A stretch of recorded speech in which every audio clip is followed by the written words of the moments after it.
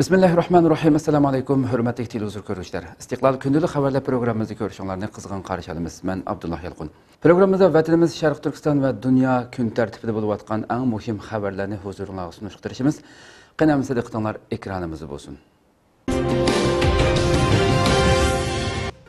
Xitoy armiyasi urush paraxoti avatib amerika paraxotini qo'g'laganligini ilgari surdi. Франция халықара радиосының 22 декабрдегі хабарда білдіріліше Қытай армиясы баянатшысы Тян Джунли баянат элан қылып, Қытай армиясының ұрыш пароходы әвәтіп, Американың Джон С. Маккейн қоғылығычы пароходыны Нәнша тақым арылдың қоғылап чықарғанлығыны илгері сүрді. Хабарда қайт Қытай Жануби қысым ұрыш районы баянатшысы Американың Джон С. Маккейн намлық ұрыш пароходының Нәнша тақым арылығы еқін деңіз районыға бесіп кіргенлігіні amerikaning bu harakatining xitoyning egilik huquqi va bexatarligiga ig'ir daxli taruz qilib janubiy dengizning tinchligi va muqimligiga ig'ir buzg'unchilik qilganligini bildirib xitoyning amerikaning bu qilmishiga qat'iy qarish turadiganligini bildirgan. Reuters agentligining xabarida bildirilishicha xitoy bayonotchisi bu xabarni undidor hisobotida tarqatgan bo'lib bayonotda xitoy qo'shinlari doim yuqori hushyorlikni saqlaydi va vazifasini qat'iy ado qiladi. Davlatning egilik huquqi janubiy xitoy dengizining bexatarligi va tinchligi shundoqla muqimligini qat'iy qo'g'daydi deb popoza qilgan bo'lsimi 23 dekabr amerika armiyasi bayonot e'lon qilib amerikaning qo'g'lig'ichi paraxoti jon s. Makkeynning tayvan bo'g'ozidan o'tganligini e'lon qildi. Biroq amerika armiyasining xitoy armiyasi tarafidan dengiz va havodan qo'g'lab chiqarilganligini tilga olmayli qolmasdan balki janubiy dengizda erkin yurish qilayotganligini bildirdi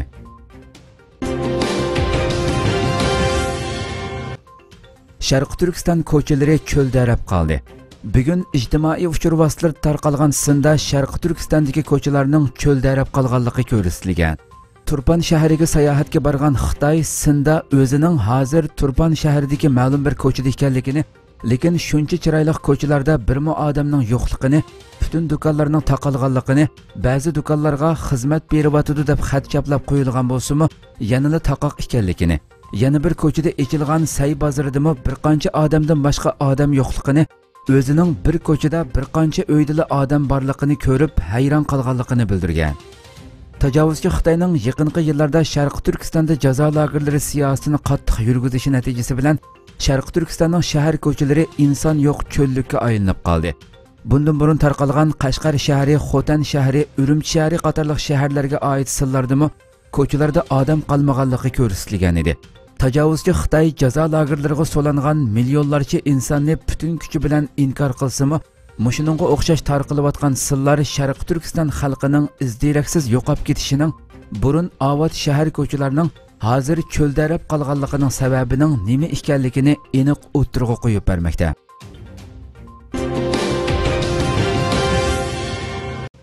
Xitoy amerikaga qarshi tadbir qo'llanilganligi haqida qasam qildi. Amerika ovozining 23 dekabrdagi xabarida bildirilishicha amerika xitoy amaldorlarining mas'uliyatini surishtirish uchun yo'l qo'ygan viza cheklamasini texmu chingitdi. Xitoy bo'lsa buningga taqobil turishga qasam qildi. Xitoy tashqi ishlar ministrligining bayonotchisi van venbin amerikaning 22 dekabrdagi harakatini ayblab yanada burunqi safsatisini setib tibat tayvan xong kong qatorliq masalalar xitoyning egilik huquqi va zamin butunligi bilan munosabatlik bular butunlay xitoyning ichki ishlari hech qanday tashqi kuchning aralashishiga yo'l qo'yilmaydi xitoy amerikani xatoligini tuzitib viza cheklamasini bekor qilishni talab qiladi deb bildirladi vang venbin bayonotida yana amerikaga qarshi turish tadbirlarining konkret mazmuni hamda amerikaning xitoy amaldorlariga qo'ygan cheklama tadbirining kim va qanchalik kishining ta'siriga uchirganligini aniq aytmagan. Amerika tashqi ishlar ministri mayk pompeo dushanba kuni bayonot e'lon qilib amerikaning kishilik huquq dafsandikiligiga chetishli xitoy amaldorlariga viza cheklamasini texmi kuchaytirganligini bu cheklamaning xitoy kommunist partiya a'zolari va ularning yaqin tuqqanlarining amerikaga boradigan b 1 b 2 vizasining 10 yillik kuchga ega muddatining bir oyga qisqartirilganligini ta'kidlagan edi.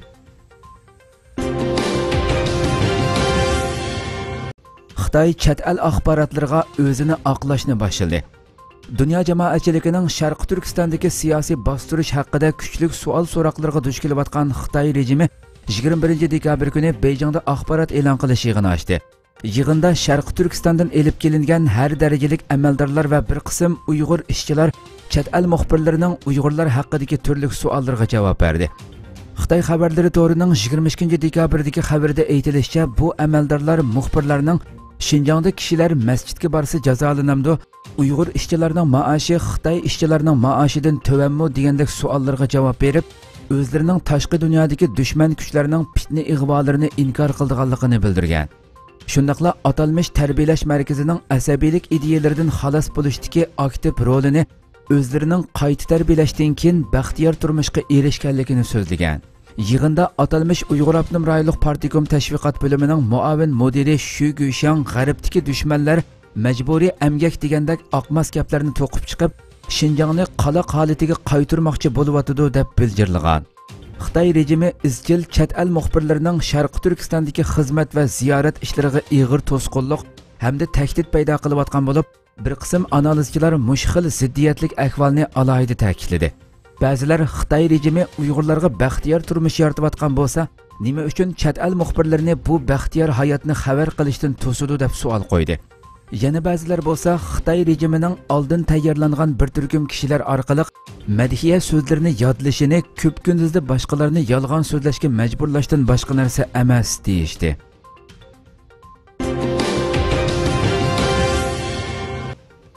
Masjidlardagi kamera kimni qo'g'daydi? Xitoy rejimining butkul sharqi turkistondagi nazorat mexanizmi izchil tanqidga uchrayotgan bo'lib yaqinda buning bir muhim mazmuni bo'lgan kameralar haqida yangicha izohat berildi. 21 dekabr kuni beyjingda ochilgan muxbirlarni kutib olish yig'inida xotan shahridagi jome masjidining xotibi ubul hasan tursun niyoz muxbirlarning masjidlarga kamera o'rnatishdagi maqsad masjidga kimlarning kelganligini kuzatish uchunmi degan savoliga javob bergan. U bu kameralarning roli haqida so'z qilib bular diniy ommani qo'g'dash va terrorchi unsurlardan mudofialanish uchundir degan. Shuningdek 2014 yili 30 iyul kuni qashqar hetka masjidining imomi juma tohirni bir qism uyg'urlarning milliy munofiq deb pichoqlab o'ldirganligini misol qilish orqali kamera bo'lmasa terrorchilar bak haddidan eshib ketadi degan. Muxbirlarning diniy e'tiqod erkinligi haqidagi savollarga qarata u uyg'urlar xohlagancha namoz o'qiydi. Ba'zilar uyda yana ba'zilar masjidda o'qiydi degan. Shuningdek kishilarning masjidlarda islom maktablarida va o'z uyida islom dini haqidagi bilimlarni o'rgandiganligini ta'kidlab diniy e'tiqodga hech kim aralashmaydi degan. Holbuki sharqi turkistonda uyg'ur buvoqlarga islomiy ismlarni qo'yish yoki islomiy faoliyatga ishtirok qilishning kishilarni lagerga yo'llashdagi muhim o'lchamlardan ekanligi xeli burundan ma'lum bo'lib analizchilar xitoy rejimining bu qilmishini diniy zotlarni vosita qilish orqali dunyoni aldash urinishi dedi.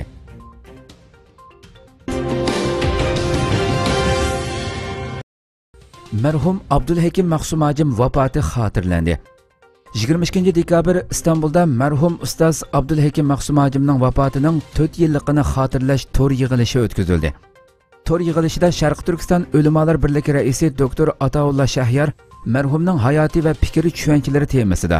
Jamoat arbobi abduqodir yapjon marhumning g'oyi va maqsadlari va xitoy turmasiga qamalgan iskanji kunlari temasida xalqaro sharq turkiston tashkilotlar birligi raisi sharq turkiston ma'rif va hamkorlik jamiyati raisi hidoyatulla o'g'izxon marhumning xizmat faoliyatlari va qo'lga keltirgan natijalari temasida.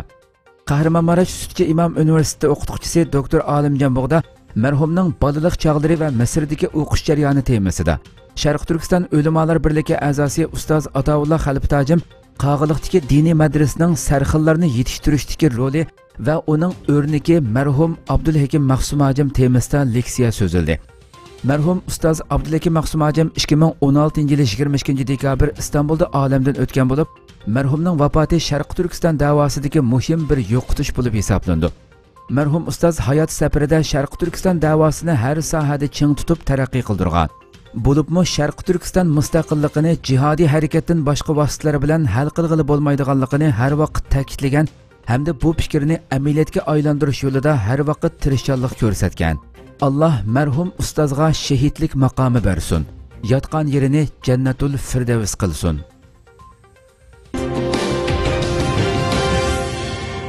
Yevropa bilan xitoy majburiy amgak tufaylidan tirkishib qoldi Yaqindan buyon ko'plab ma'lum bo'lishga boshlagan Sharq Turkistondagi majburiy emgak masalasi Xitoy bilan Yevropa o'tirsidagi savdo va mablag' munosabatlariga ig'ir xirislarni paydo qilishga boshladi. Növətdə Yevropa əlləri bu tufaylidan o'zlarining xitoy bilan bo'lgan savdo munosabatini qaytadan o'ylashib ko'rishga taraddud qilayotganligi ma'lum.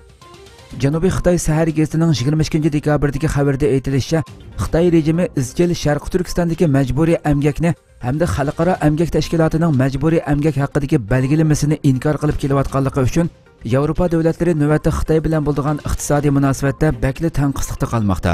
Bo'libmi o'tgan hafta Yevropa parlamenti Xitoy rejimining Sharq Turkistondagi majburiy emgak qilmishini ayiblash haqida qaror olgandan keyin bu xohish texmo kuchaygan. Yevropa parlamentining a'zosi Rafael gluksman bu haqda so'z qilib, yig'ilish lageri va zamonaviy qulluq masalasi ko'plagan tashkilotlar o'rtaq qarash turadigan temalar degan. Yevropa davlatlarining Xitoy bilan bo'ladigan o'zaro mablag' selish turlarimi bu tufaylidan kaskin tanqidlarga duch kelgan. Xitoy bilan bo'ladigan savdo aloqasini kuchaytirish haqida eng aktiv bo'layotgan Germaniya bosh ministri Angela Merkel yaqinda Germaniya Yeshillar partiyasidan Margaret Baosning siz mushundaq reallikni ko'rib turibmi yanada Xitoy bilan savdo qilishni tashabbus qilmoqchimi deb savol qo'yishiga duch kelgan. Ma'lum bo'lishicha, Xitoyga o'xshash kommunizm tuzumidagi Vyetnam xili burundan tortib xalqaro amgak tashkilotining munosabatlik belgilamalarini to'liq ijro qilayotgan bo'lib majburiy amgak va bolalar amgakiga xotima bergan navbatda yevropa davlatlari xitoyning mushundoq bir holga yetishini jiddiy talab qilmoqda ekan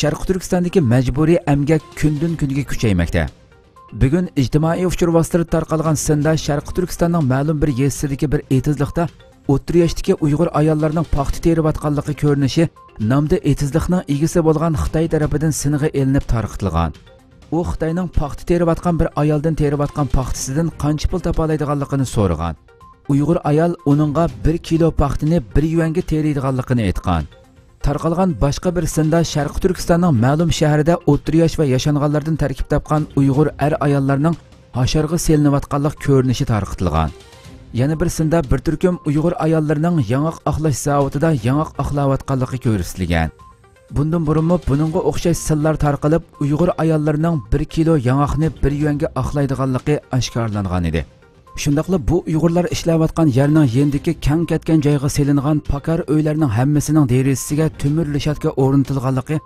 kirish eg'iziga kamera o'rnatilganligi bu uyg'urlarning mushu lagerga so'langanlar bo'lish ehtimolini kuchaytdi? Tajovuzchi xitoy sharqi turkiston xalqining yer zaminlarini bulang talon qilg'ini yetmagandek qantar badiliga kelgan yer zaminlaridan ayrilgan xalqni o'z tuprog'ida qul o'rnida ishlashga majburlamoqda.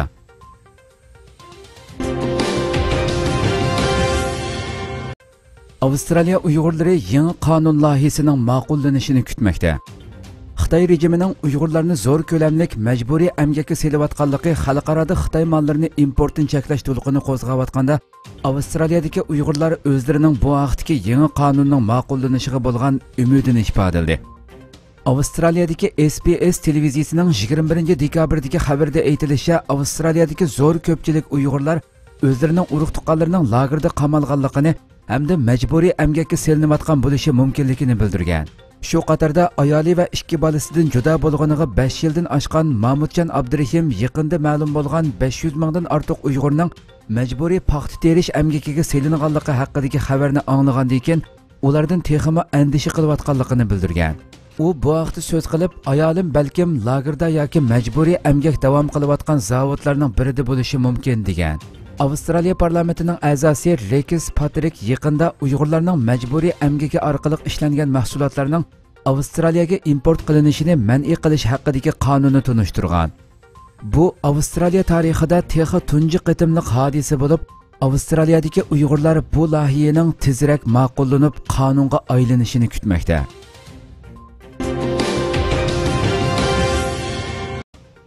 Xitoy hindiston suhbatida ixtilof kuchayib urush tayyorligi boshlandi. Hong Kong xabarlari to'rining 22 dekabrdagi xabarda bildirilishicha xitoy hindiston suhbatida ixtilof kuchayib urush tayyorlik holati kuchaygan. Xabarda qayd qilinishicha 12 ayning 18 kuni xitoy tashqi ishlar ministrligi chegara va dengiz ishlari bo'limining mudiri xongliang va hindiston tashqi ishlar ministrligi sharq osiyo birlashmasining kotibi navin srivastava to'r suhbati o'tkazgan. Suhbat xitoy bilan hindistonning galvan vodisida yuz bergan urushdan keyingi oltinchi qatimliq diplomatik uchrashishi bo'lib 30 sentabrdan buyongi eng yangi uchrashish ekan. Bu suhbatda ikki tarafning hal qilish tadbirlarida ro'shan farq ko'rilgan. Bildirilishicha ladoh rayoni kargil va lehni o'z ichiga olgan bo'lib kargil pokistonga yaqin. Lex rayoni xitoy bilan hindiston o'tirisidagi to'qinish sababidan bir qancha oydan beri qizib ketgan. Bu rayon ilgari cheklik mablag' solgan hindiston armiyasi uchun raqobat shakllantirgan. Suhbatda ixtilof ko'rilgandan hindiston armiyasi 2021 yili ladoh rayonidagi 19 o'ringa qo'sh qo'llanishchan tikuchar aerodromi qurishni planlagan. Hindiston armiyasi qattiq qor yig'ishdan ilgari ladohdagi urushga tayyorlik qilish xizmatini ching tutgan. Hindiston armiyasi oldingi hisobda askar o'rinlashtirish bilan aldirash bo'layotgan paytda hindiston armiya qurilish atriti chegara va yo'l boshqarish qismlari ladohning oldingi sepidagi yo'llarni remont qilgan. Hindiston qariqurum teg'i vodiysidagi ko'p liniyalik jang maydoni yo'lni qizishga boshlagan. Modi hukumati hindiston armiyasiga tayyorlik salmoqini oshirishga buyruq tushirib himachal pradeshdagi darchadin ladohdagi nimug'i boradigan yo'lning podumga tutashtirilishini talab qilgan. Uningdan boshqa hindiston taraf leh qatorliq joylardagi yaxshi havo royidan foydalanib uskuna yuktoq va davolash buyumlari qatorliq strategik materiallarning chegara rayoniga to'shilishini kuchaytgan. Ma'lum bo'lishicha hindiston armiyasining tayyorligi sentabrning o'ttirlaridan boshlab ko'rinarlik bo'lgan. Avgustning beshida hindiston armiyasining yuqori qatlamidagilar 17 guruhga quruqliq armiyasi tog'liq rayonida zarb berish atritini maxfiy o'rinlashtirgandan boshqa hindiston armiyasi hindiston pokiston chegarasi oldingi sepidagi kuch nisbatini tangponglashtirgan sonliq ma'lumotlarga qaraganda 7 oydan 9 oygacha hindiston shimoliy qo'mondonlik organi oldi bilan amerikadan 30 ming yurish sovuqqa qarishtirish uskunasini zakaz qilgan. U yerda turishliq 14 armiya turkumlab uchquchsiz aeroplan dala mashinasi zamonaviy qurol va boshqa uskunlarni o'rinlashtirgan.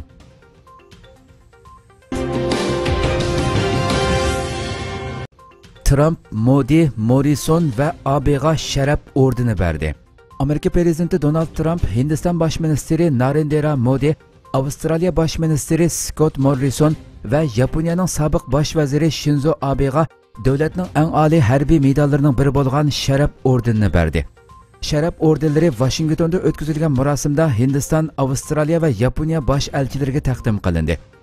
Amerika davlat xavfsizlik ishlari maslahatchisi robert o'brayn twitter hisobida hindiston bosh ministri modining amerika hindiston strategik sheriklik munosabatini ilgari surganligi uchun sharaf ordeniga erishganligini bildirdi. O'brayn yana bir twitter uchurida avstraliya bosh ministri morrison va yaponiyaning sobiq bosh vaziri abenamo sharaf ordeniga erishganligini bildirdi. Kuzatuvchilar yuqoridagi uch davlat rahbariga berilgan ordenning sabablaridan birining ularning hammasining xitoyga qarshi amerika tarafda amaliy rol olganligi uchun ekanligini bildirishmoqda.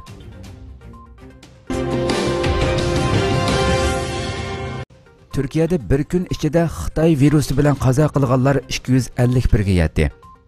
22 dekabr turkiya jumhuriyati sahiya ministri fahrettin koja bir kun ichida xitoy virusi bilan yuqumlanuvchilarning 19256 ga yetganligini e'lon qildi. Sahiya ministerining ma'lumotiga asoslanganda turkiyada xitoy virusi bilan yuqumlandi deb gumon qilingan 192316 kishi tekshirilishi orqali yangidan 19256 kishining yuqumlanganligi aniqlangan. Navbatda 3309 kishi doktorxonada bo'lib bir kun ichida yana 251 kishi qazo qilib 32110 kishining salomatligi asliga kelgan.